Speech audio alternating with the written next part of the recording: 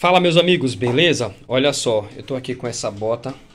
A bota aparentemente ela está nova no caso de uso, tá? Em uso ela está nova, mas o material dela já está todo danificado. Olha aí como é que tá essa bota. Olha a situação dessa bota. Toda se descascando. E o cliente tentou pintar, né? A cliente na verdade ela tentou pintar. Olha só. Que você vê que tá brilhando aqui. Isso aqui são tintas. Até a logozinha da marca, ó sujou de tinta que ela tentou pintar, achando que se descascando assim, passar uma tinta resolve. Só que não, pessoal, não resolve, tá? E aí ela tentou fazer isso, ó, mas infelizmente não resolveu, tá?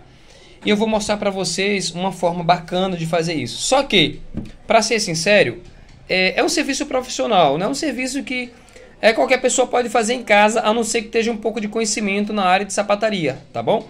A não ser que você já tenha feito um curso ou já tenha é, mexido com esse tipo de serviço. Eu vou mostrar para vocês como é que vocês conseguem fazer uma modificação. Porque aqui a bota tá nova, pode ver que o solado ó, tá novo, ó. não gastou quase nada, mas a cliente deixou guardado há muito tempo e acabou descascando. Veja depois, veja depois do serviço pronto como essa bota ficou. Dá uma olhada, eu tenho um outro pé aqui, eu vou mostrar para vocês o outro pé. Observem como ficou o outro, o outro pé dessa bota que a gente está fazendo ainda, está em execução, o serviço está sendo feito. Eu já fiz um pé e agora eu vou parar para fazer isso aqui, mas eu já vou mostrar para vocês como é que ficou o primeiro pé. Olha só.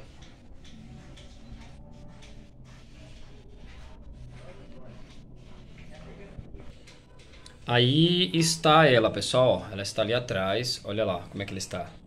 Então aí tá a bota renovada, modificada. Nós fizemos a troca das peças, tá? Colocamos o material verniz e reaproveitamos, na verdade, tudo, né? O solado é o mesmo. Você vê que a gente, a única coisa que a gente modificou aqui foi, ó, ilhóis que essa bota não tinha, nós colocamos um ilhóis, tá? Essa parte aqui, ó, prateada é ilhóis que a gente colocou que na original não tinha, certo? Uh, essa logo aqui a gente preferiu não colocar porque também ficou muito suja.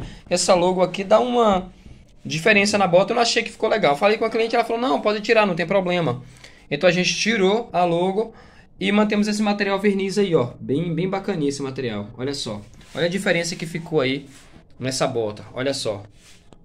Olha lá.